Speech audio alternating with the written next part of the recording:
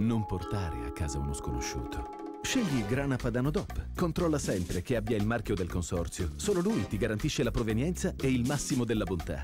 Grana Padano DOP, fatto di un'altra pasta.